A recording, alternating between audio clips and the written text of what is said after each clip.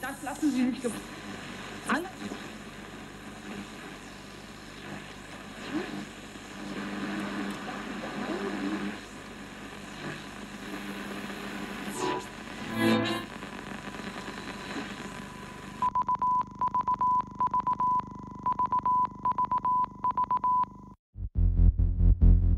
Antenne Gropius auf Sendung.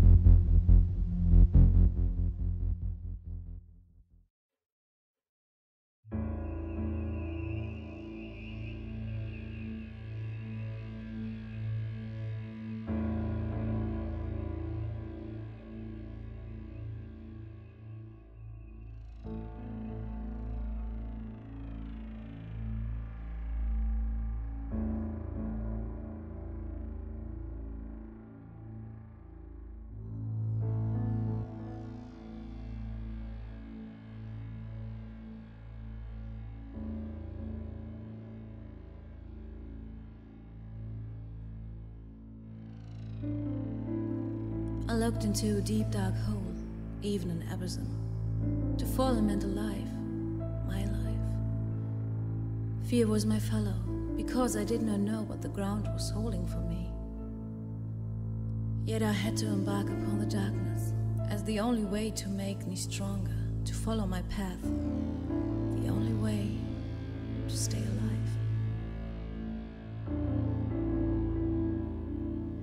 These words I once read in a horror story, whatever. They gave me courage. My name is Rebecca, Rebecca Chambers. And I don't know how to wake from this nightmare I am in.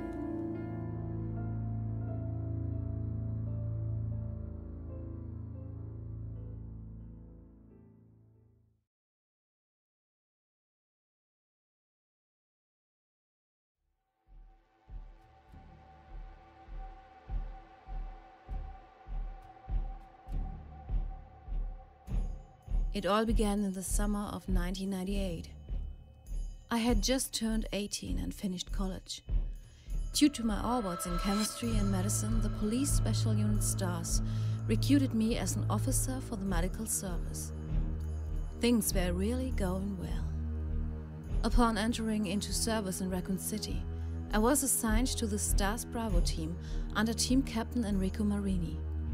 He was supposed to guide my training, this never happened. June the 23rd, 1998, changed all. A cruel series of murders shocked the residents of Raccoon City, and we, the Stars, were supposed to support the RPD, Raccoon Police Department. Our team received the order to follow a trace in the forest of Raccoon. So we made a move, and what was supposed to be a routine job turned into something that no training can prepare you for.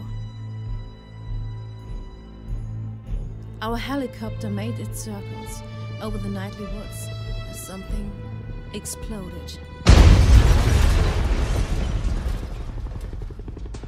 What's the matter? Enrico shouted at our pilot Kevin Dooley. His answer was, The drivetrain turned off. I'll have to make a forced landing. Hold on. The chopper throttled, rotating like a screw into the fast approaching woods. The rotor cut and diced the trees. The window next to me shattered, and the mighty shake of the impact made me lose consciousness for a moment. Thank God, Dooley had managed to bring us down safely.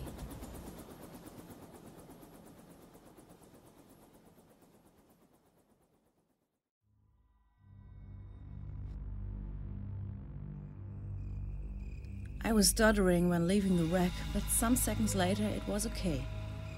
Enrico ordered us to spread out and to secure the area.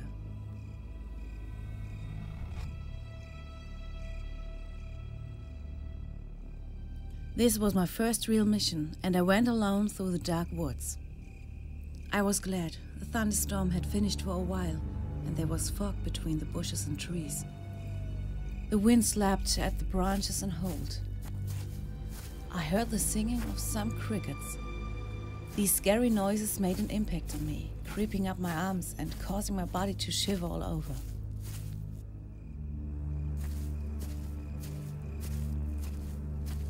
I was holding my Beretta and my flashlight in one direction as I had learned, but only found bizarrely shaped pictures created by my imagination. Under my feet, branches snapped and something seemed to startle, there was a rustle in the underwood and something flapped away. I heard a crow in the distance. I frightened a crow? My heart was beating so loud. Everyone around me must have heard it. I don't know if I was too deep into the woods or if I simply lost orientation. I could not see any members of my team. Enrico, can you hear me? I asked into my mobile radio, but the only answer was an atmospheric noise.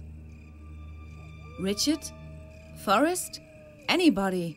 Can anybody hear me? Shit. The radio seems to be damaged after the crash. I was all alone. What now? The Spencer property is a good place to collect yourself and to wait for help. These words from Enrico to Richard came into my mind. We had crossed the old property shortly before we crashed. I decided to go there. After some 20 minutes, I got sight of the outlines of the Spencer property.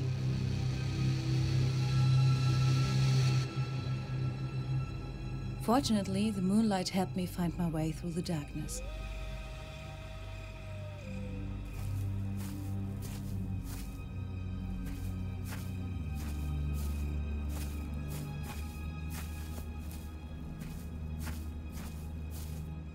In front of me, a flat red brick house without windows appeared, and to the right, the main building. It looked like I had to pass the red brick house to reach the property. My hopes rose as I noticed light behind some of the windows and some slowly moving shadows. A dog was howling in the distance. To get a feeling of safety, my hand held tight the butt of the Beretta. The rusty metal door only stuck partly in the lower door hinge, and I had to move over it to get inside. A penetrating smell came from within. It smelled like a combination of Festus piss and rot. It was overpowering and it really made me sick. The light of my flashlight cut into the darkness, and the moisture within gave an unearthly glaze.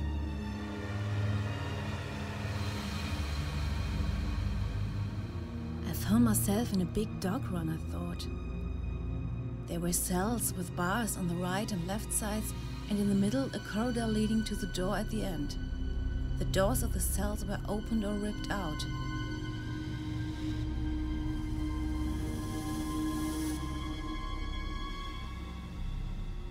It looked like a prison. The bars were rusty or twisted. What was this? There was some sticky stuff on the bars. I stepped through the puddles on the floor. The rain had found its way through the leaking roof, and you could hear scattered raindrops here and there. I took some of the stuff from a bar, maybe as big as a leaf, and checked it. It was dried fruit cake with blood. I didn't want to think about it, but they must have tortured some dogs. Awful. I checked the whole place with my flashlight. Something in the last cell on the right side caught my attention. I went near with my weapon in the ready. Human outlines. Someone squatting? Some weak movements, and then the light showed the pure horror. I realized where the smell came from. A dead man was sitting on the floor in the cell. He was wearing a rotten work coat which must have been white long ago. The movement belonged to cockroaches all over his body. I got sick and vomited. I wiped my face and checked the rotten body with bleary eyes and a pinched face. Looked like animals had eaten whole parts of his flesh. The pure guy had been dead for quite a while. It must have been one more victim of the raccoon killer. Then I noticed something hiding behind the door. Moonlight shone through the only window on the blood smeared operating table. Bloody surgical instruments were still situated there. The cupboards on the wall were wide open and their contents scattered on the floor. One more door on the right side and a clipboard on the floor. What is this? An operative report, but the paper is not complete and I can hardly read it. Um, Ella Corporation. The animal test object showed unmaginate forces, biting its leather chains in two and attacking Dr. Corbin, even in. Um, now something is missing. Um, still vital functions, loss of parts of the body, um, hardly any damage.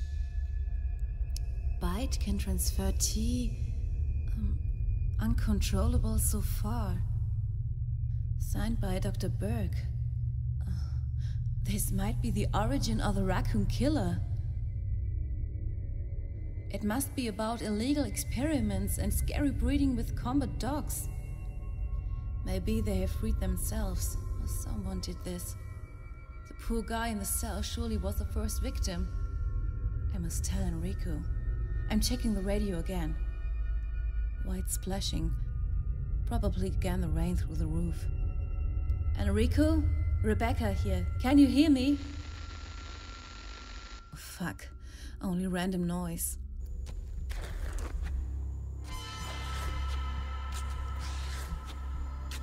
Some shoveling behind me and a deep moaning came to my ears. I spun around, flashlight and Beretta ready. Don't move! I shouted with a shaky voice, but I could not believe my eyes. The dead man from the cell was standing right in front of me. Cockroaches still crawling all over him. Even through this mouth and moaning came from. This is not true. You cannot be alive. Don't come closer. One more and I will shoot. Stepping back, I shot three times into his chest. Parts of the torso exploded, and the undead fell down to his knees. To my horror, he rose again, turned his head to the side, and outstretched his arms.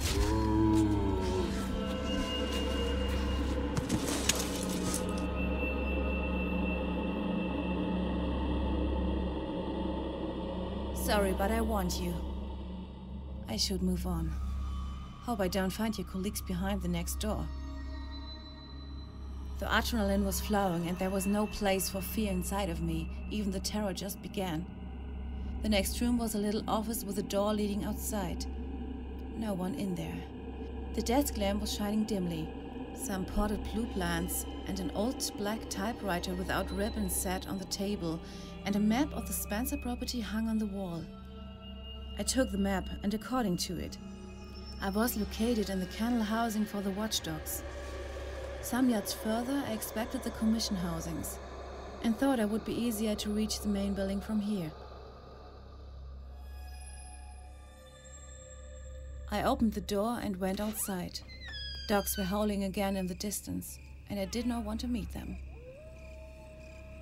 Let's move. Again through the darkness. Again, I thought about the horror story. A dark hole in front of me. The only way to salvation, but also, I fear, to the next nightmare.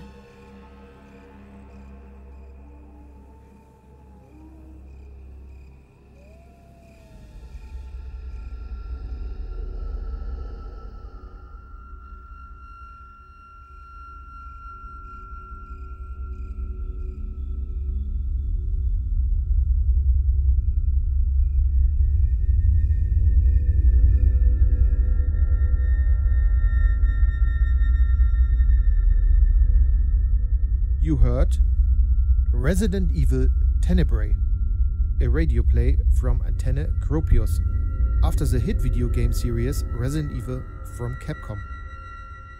Frauke Kestner spoke Rebecca Chambers. Based on a short story by Sascha Leupold. Translation by Michael Kestner. Cut and directed by Hartmut Breuer.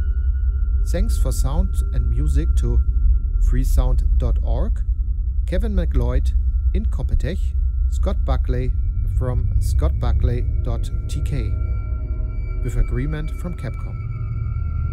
This is a non-commercial radio play and free for download. It is licensed under creativecommons.org. More infos at www.antenne-gropius.square7.ch. Thanks for listening.